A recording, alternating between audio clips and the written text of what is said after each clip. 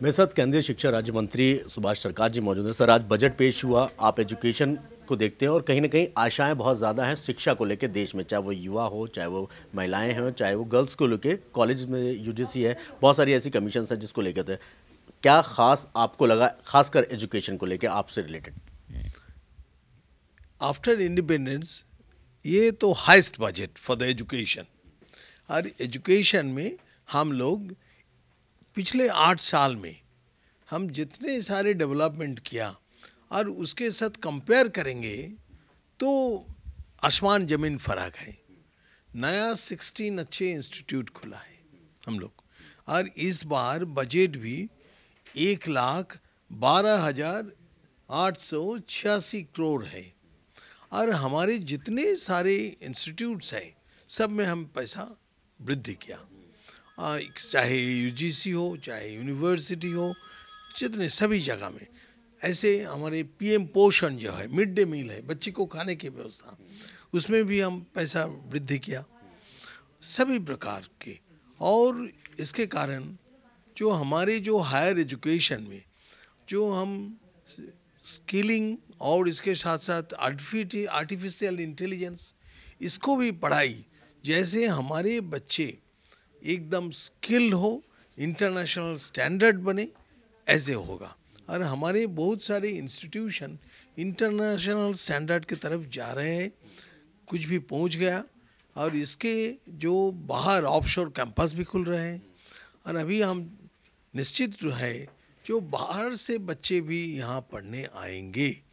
और हमारे सभी स्तर में जो पीएम श्री स्कूल्स इसमें भी ज़्यादा पैसा हुआ।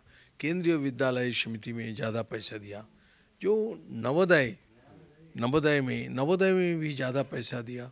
हम हमारे स्कूल्स को एकदम मॉडल स्कूल बनाएँगे उसको शोकेस होगा और सारे देश में सभी बच्चे को पढ़ाई अच्छा होगा। और विपक्ष जो बहुत ही इम्पोर्टेंट है जो डी आई ई टी नाम से एक संस्था है, है। इसको कोई देखते नहीं। इस बार हम उसमें भी अर्थ बड़ा अर्थ दिया है। धनराशि दिया है क्यों ना उसको अच्छे टोटल कितना बजट उसमें दिया है डी डीआईटी में? देखना पड़ेगा। डीआईटी में अच्छे बजट उसको हम टारगेट करके मतलब पिछली बार के मुकाबले बढ़ा कर दिया गया। बहुत ही बढ़ाया। उसमें हम चाहते हैं टीचर को कैपेसिटी बिल्डिंग होगा। ये बहुत ही ज़रूरी है।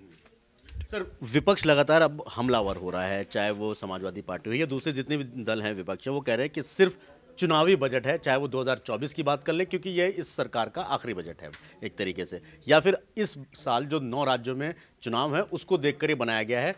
कॉरपोरेट सेक्टर्स बड़े को देख कर बनाया गया, मध्यम वर्गीय या लोअर क्लास को इसमें कोई फ़ायदा नहीं मिलेगा। उनको जो बात है ना, उस बात में ही कंट्राडिक्शन है। उनका एक तरफ़ कहना है, चुनाव बजट है। तो चुनाव बजट मीन्स सभी प्रकार लोगों के लिए ये सरकार ये बजट में काम करने वाला बजट है। तो इसमें क्या गलती है? और वो कॉरपोरेट के बारे में जो ब्लेम देते हैं, उसका कोई सबूत नहीं है। ये एकदम गलत। ये दोनों कॉन्ट्राडिक्टरी बात है। वो लोग खुद ही बता रहे हैं, इस बार का बजट सबके लिए खुश होने का बजट। ज़ाहिर सी बात है, जिस तरीके से एजुकेशन को लेकर बजट बढ़ाया गया तो आने वाले दिनों में कहीं ना कहीं उन लोगों को फ़ायदा ज़रूर हो सकता है, जिनको उम्मीदें ज़्यादा थी। वीडियो जर्नलिस्ट वसीम अकरम के साथ Syed Mubashar, news world India, Delhi.